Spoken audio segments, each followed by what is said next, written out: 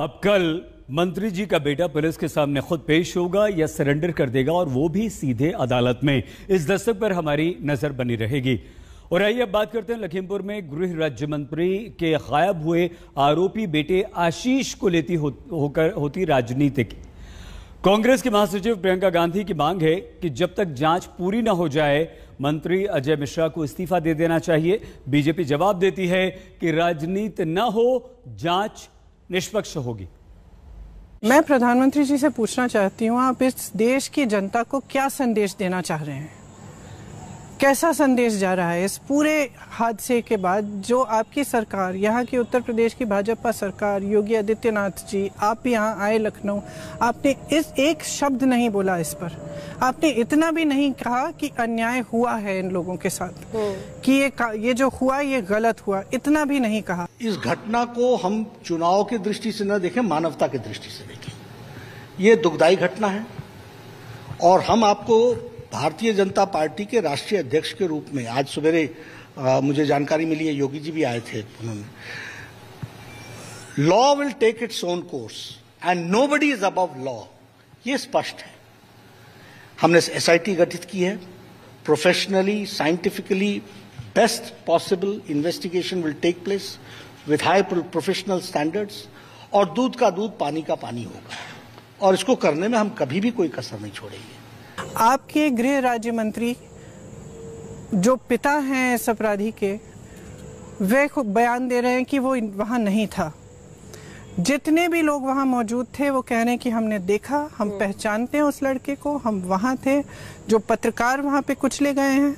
उनकी उनका परिवार कह रहा है कि वो पहचानता है सब कह रहे हैं। आप सुनने के लिए तैयार नहीं है। आप कह रहे हैं कि आप सिर्फ़ उनके पिताजी की बात सुनिए। ये लोग जो ऐसे लोग हैं, ये हताश और निराश लोग हैं।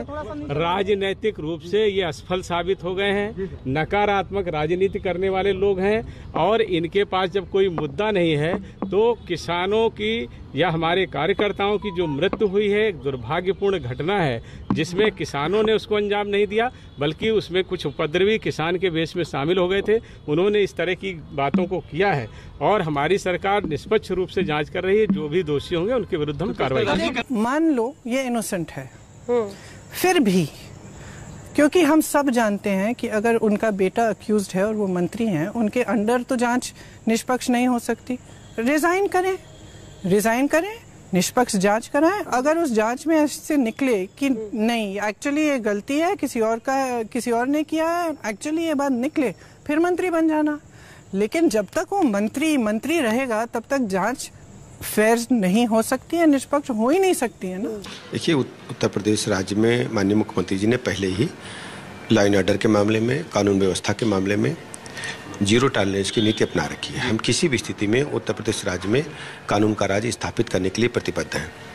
एक देश में एक गृह राज्य मंत्री के बेटे पर आरोप लगता है कि वो गाड़ी के पहियों के नीचे कि, छह किसानों को उसने कुचला है।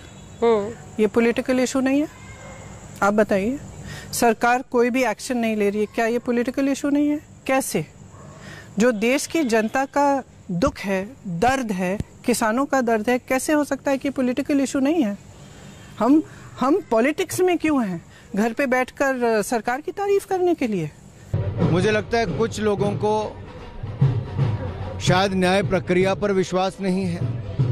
इसलिए केवल राजनीतिक टूरिज़्म करने का जो काम करते हैं, वो दुर्भाग्यपूर्ण है। राजस्थान की हाल ही में घटना देखने को मिली, आज भी वहाँ पर ट्वीट किया गया कि किस तरह से बीच सड़क में लोगों ने पीट पीट कर एक परिवार को कैसे खत्म किया, एक व्यक्ति को उनके सामने कैसे खत्म किया, कैसे मारा गया। दिन रोज की घटनाएँ राजस्थान की, ऐसी पंजाब की, छत्तीसगढ़ की आती हैं। लेकिन उसके चलते राहुल गांधी, प्रियंका जी कभी उस और रुख नहीं करते हैं जो दुर्भाग्य